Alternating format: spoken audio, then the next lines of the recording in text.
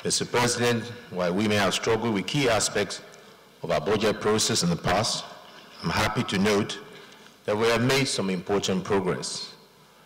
To start with, we are seeing the budget presentation coming slightly earlier this year, though we hope to see an, an even greater improvement on this in the coming year. But more importantly, however, is that so far in this year's budget process, it has benefited from greater cooperation and consultations between the National Assembly and the Executive.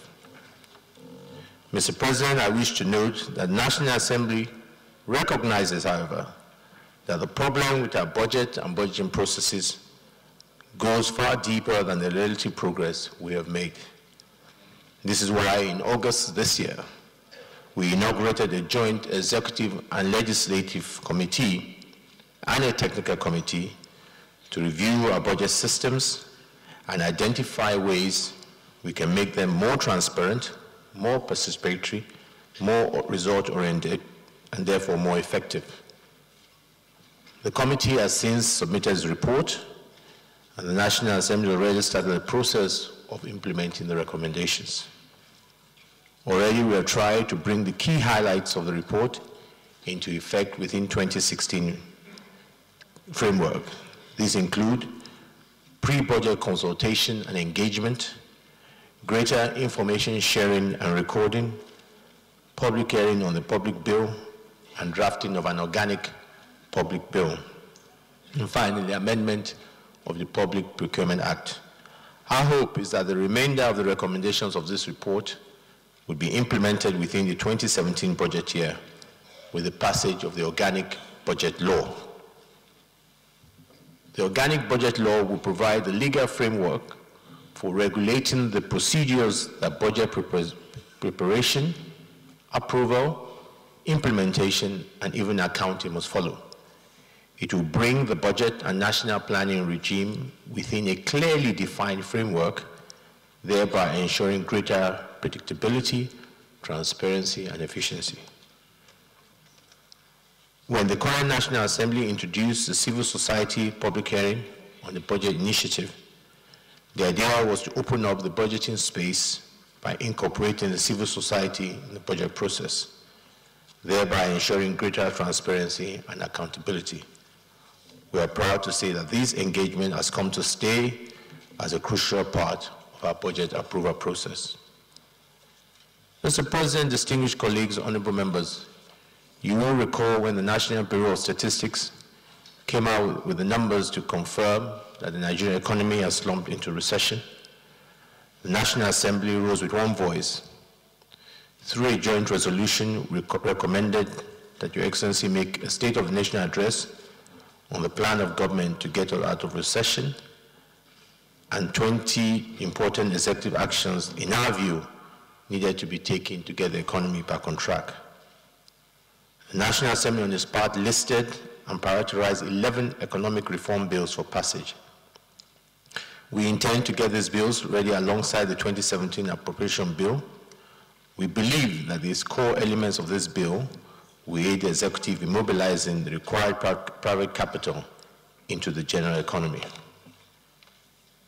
In the thinking of the 8th National Assembly, our country can no longer rely on the public sector alone to spend us out of recession. It is therefore critical that we mainstream private sector business and investment in the economy. To achieve this, we must make it much easier and efficient for people to invest and do business in our country. Further to this, we are also aware that we must attract private investments to play a central role in our economic recovery efforts. We must make deliberate efforts to market Nigeria as an attractive brand through a very robust and highly coordinated process of engagements. This effort must necessarily start with injecting confidence in the market through clarity and consistency of policies. We must speak the right language and show that we're open and ready for business. The overarching purpose of a budget is essentially to ease the economic pressure on our people in general and the poor especially. The 2017 budget assumes even a greater significance, particularly in this time of recession. Mr. President, the feedback we get from our visits to our various constituencies is that there is hardship in the land. We can see it, we can feel it. This situation therefore commands all of us as government to a greater sense of urgency. We cannot work magic, we must continue to work the clock. Our people must see that the singular preoccupation of government is the search for solution to the current economic hardship and the commitment to ease their burden. They don't want to know what political parties we belong, or the language we speak, or the God we worship. They have trusted their fates in our hands, and they need us now more than ever to justify that trust they have reposed on us. The people of Nigeria will pardon us if we do some things wrong, but they will not forgive us if we do nothing. And that is why, Mr. President, these, the two chambers have taken a position. Whatever may be our differences, our differences, our opinions on issues of the economy, will work with one common purpose for this reason.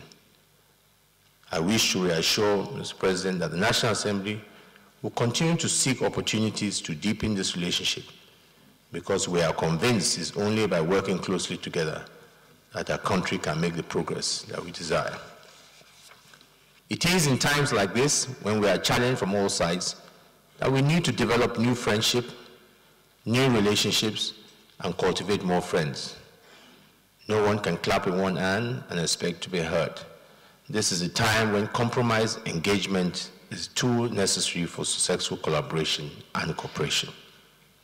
This is why I am encouraged the executive to continue with its engagement plans across all sectors and stakeholders in the country, particularly with our brothers in the Niger Delta and other parts of the country where instability is imparting on our collective economic and security aspiration. Mr. President, you recall in 2015, I made a clarion call while receiving Your Excellency budget for that the 2016 budget needed to be bold and pragmatic to drive local production and promote made in Nigeria goods. Today, permit me, Excellency, to reiterate this call. The only way we can cut down on our foreign exchange needs, create jobs, and stimulate entrepreneurship in this country is to promote local manufacturing investment. And this is why the National Assembly injected the Made in Nigeria Amendment into the Public Procurement Act. We are expecting that with your leadership, we will achieve even much in this area. It is the hope of National Assembly that the 2017 budget will continue to proactively pursue this policy objective. Mr. President, though we are confident that we are receiving from you a very well-articulated budget proposal, it is worthy humbly to point out that the best produced budget from the executive at all times still remains a proposal according to our constitution, which the National Assembly will work assiduously on.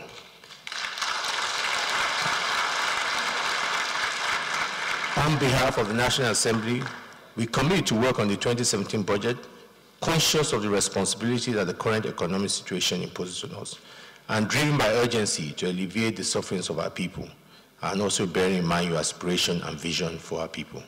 We assure you, Mr. President, and all Nigerians, that not even a single minute will be wasted on our side in ensuring we get the budget approved. With these few words, I hereby invite Your Excellency to deliver your speech and lay the 2016 budget, 2017 budget proposals for the consideration of the National Assembly in accordance with Section 81 of the 1999 Constitution of the Federal Republic of Nigeria as amended. I thank you and extend greetings to you.